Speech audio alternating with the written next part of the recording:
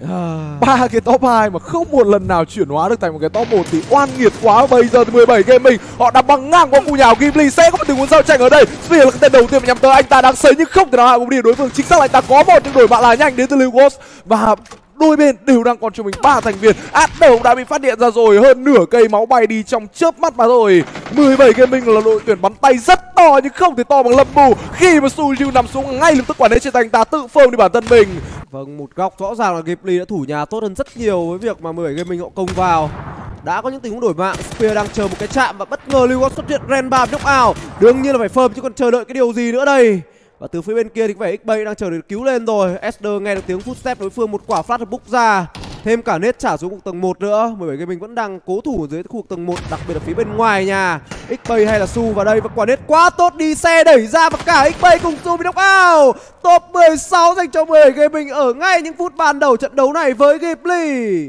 Bắn toàn mặt đến từ vị trí của đàn tề rất hay và liệu rằng anh ta có thể làm lại điều đó hay không đây? Nhưng góc thi đấu này thì Maclan đang tương đối là khuất bóng và nhưng mà vẫn là những viên đạn vào đầu đến từ đàn tề phong độ quay đến từ anh chàng này ở trong ngay trận thi đấu đầu tiên mà thôi. Và ngay sau đó thì cả đội của team liquid cũng góp vui trừ chap là cái tên đầu tiên mà nằm xuống. Markland đang bị kẹt Nó không biết phải đi đâu và về đâu cả. Kẹp vào tất cả hai đường như thế này thì chạy đi đâu đây? Chiếc xe thì nó cũng đang bốc khói rồi, phát nổ nhưng rất may mà là không đủ lượng xa tường. Để có thể kết thúc bất cứ thành viên nào của McLaren Deva thì cũng chỉ là yếu máu mà thôi. Lash thì cũng đã lên xe. Oath Gaming đang liên tiếp mất đi những chủ công của mình. Trong cái đó game mô mà đồng cũng nhận phải tin buồn khi MC Mô bị nóc đi bởi Mamo quá nhiều những pha combat diễn ra trong khoảng thời gian ngắn mà tôi TSM quyết định là băng qua tường. Nhưng làm sao mà vượt qua được đối phương đây? Cố gắng đổi mạng nhưng chỉ là trong vô vọng dành cho phát điểm thôi. Lúc 10 là tên còn sống sót cuối cùng nhưng TSM không thể nào trụ nổi nữa và họ sẽ phải dừng trận ở vị trí thứ 15 Vâng, phía bây giờ thì Sonic quét viền bò và gặp phải các thành viên từ phía Team Fury. Chắc chắn cả hai bên đều sẽ phải chịu tình huống thế bất ngờ thôi. Còn với Genji và Madken góc phía bên này Những người Hàn gặp nhau, Genji chủ động phi từ phía bên ngoài vào. Madken vẫn đang có mặt ở phía bên trong nhà và các thành viên từ phía Genji sẽ cần phải có tình huống check góc cực kỳ là kỹ lưỡng. Tầng hai là vị trí của Lát đó là một góc gần như là bị động hoàn toàn. Và Lát thoát ra khỏi tình huống này như thế nào đây? Trong khi đó thì đội hình của team Liquid cũng đang bắn phá vào Fury. Kiểu Fury bây giờ mất đi rất nhiều người.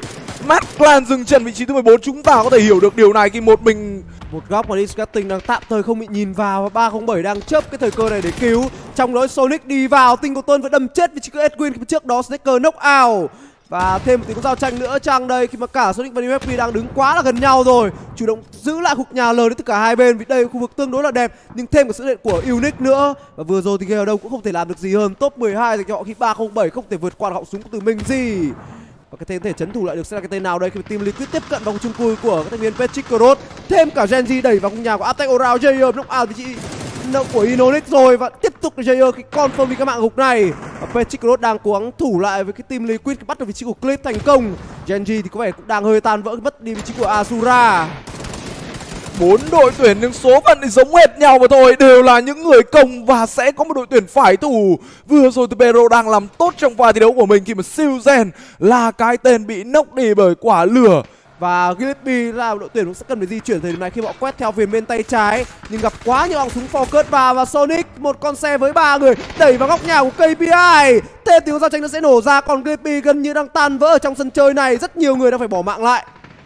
KPI họ còn hai người mà tôi lợi thế mặt nhân sự là có dành cho những anh chàng của Pedro, chính xác là team Sonic. Còn trong khi đó thì Unique lại đang muốn đánh ngược vào đội hình của Attack All Round. Đây có lẽ không phải là một quyết định quá khôn ngoan, nhưng là tình thế ép buộc họ rồi. Bot Gaming nhân khoảng thời gian này cố gắng sủi sang một góc thi đấu khác không còn là khu nhà vệ sinh nữa.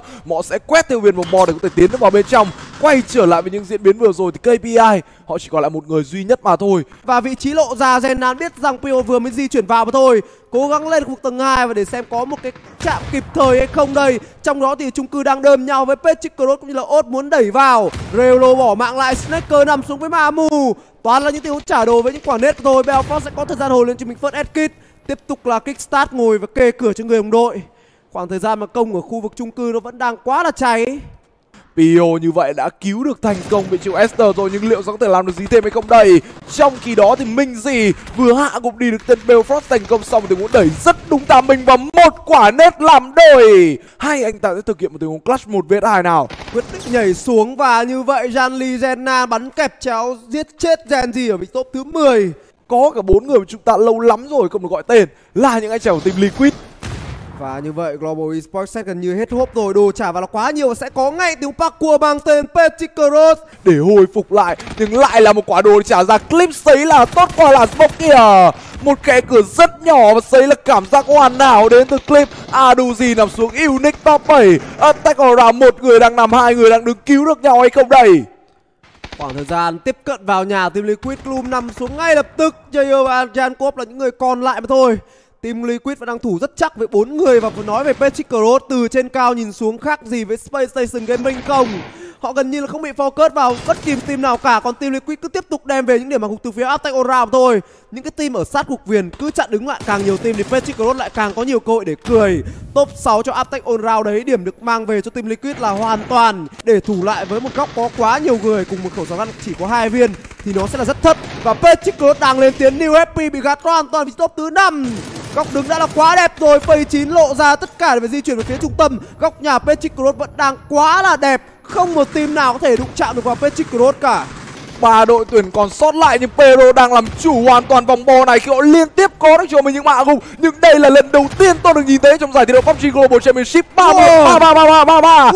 Và liên tiếp là những quả net của team Liquid hạ gục hoàn toàn Pero rất bất ngờ. 52% giành chiến thắng cho cá ngựa. Họ phát điện ra số nick beam một người nằm xuống stream gì đổi mạng làm nhanh từ tình huống về là hai vs ba bây giờ là một vs hai rồi. Liệu rằng làm gì không đây? Và không có cơ hội nào cả. Team Liquid top 1 đầu tiên ngày thi đấu hôm nay.